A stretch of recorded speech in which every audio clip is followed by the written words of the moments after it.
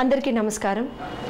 I'm Madhaveeswari representing Andhra Pradesh centre for financial systems and services Andhra Pradesh ప్రభుత్వ ఆర్థిక శాఖ అమలుపరుస్తున్న comprehensive financial management సిస్టంలో భాగంగా receipts challan సర్వీసులను ఈరోజు గౌరవనీయులైన మన ముఖ్యమంత్రి వర్యులు శ్రీ నారా చంద్రబాబు నాయుడు గారు ప్రారంభించనున్నారు. ఇప్పుడు మనం మచిలీపట్నం వాస్తవ్యులైన సీడ్ డీలర్ శ్రీ శివనాగ ప్రసాద్ వారి వద్ద ఉన్నాము. నమస్తే మేడం. శివనాగ ప్రసాద్ గారు మీరు గతంలో ప్రభుత్వ సేవలు ఎప్పుడైనా వినియోగించుకున్నారా? లైసెన్స్ రెన్యువల్ కోసం మీరు ఏం చేసేవారు?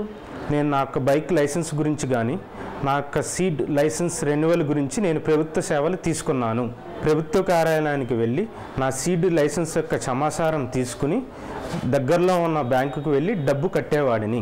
ఇప్పుడు మన నూతనంగా రూపొందించబడిన కాంప్రిహెన్సివ్ ఫైనాన్షియల్ మేనేజ్మెంట్ సిస్టంలో భాగంగా రిసీట్స్ ప్రాసెస్లో చలనాలు ఎలా జనరేట్ చేయాలో చూద్దాం. ప్రసాద్ గారు ఇప్పుడు మీరు అగ్రికల్చర్ డిపార్ట్మెంట్ని సెలెక్ట్ చేయండి.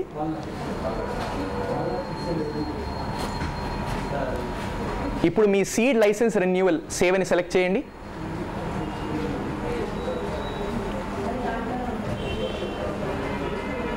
ఇప్పుడు మీరు ఏ డిస్ట్రిక్ట్కి చెందినవారు ఆ డిస్టిక్ని సెలెక్ట్ చేయండి.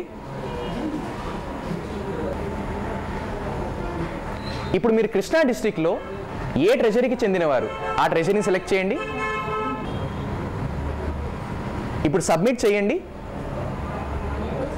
ఇప్పుడు కనిపిస్తున్న స్క్రీన్లో మీరు ఏ సేవని పొందడానికి ఈ చలానా జనరేట్ చేస్తున్నారో? ఆ సేవని ఇవ్వండి అక్కడ.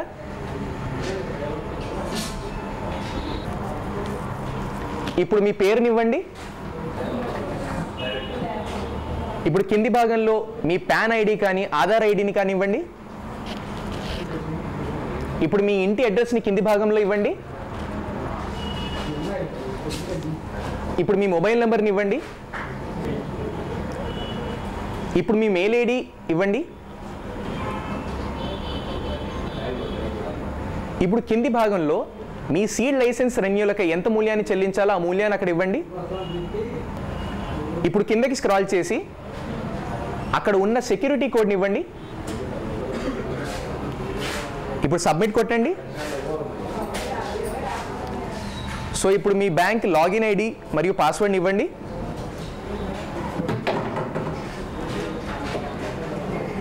ఇప్పుడు కన్ఫర్మ్ చేయండి ట్రాన్సాక్షన్ని.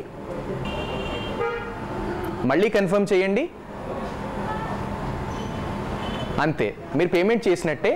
ఇప్పుడు మీరు సిఎఫ్ఎంఎస్ దగ్గర ఎక్నాలజ్మెంట్ తీసుకోవడానికి ఆగండి. మీరు ఇది ప్రింట్ తీసుకోవచ్చు. ప్రింట్ మీద క్లిక్ చేయండి.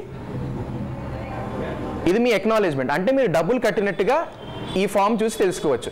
అలాగే మీకు మెసేజ్ కూడా రావడం జరుగుతుంది. ఒకసారి మీ మెసేజ్ ఇన్బాక్స్ చూసుకోండి. ప్రసాద్ గారు మీ స్పందన తెలపండి. చాలా సులువుగా ఉంది. టైం చాలా కలిసి వచ్చింది.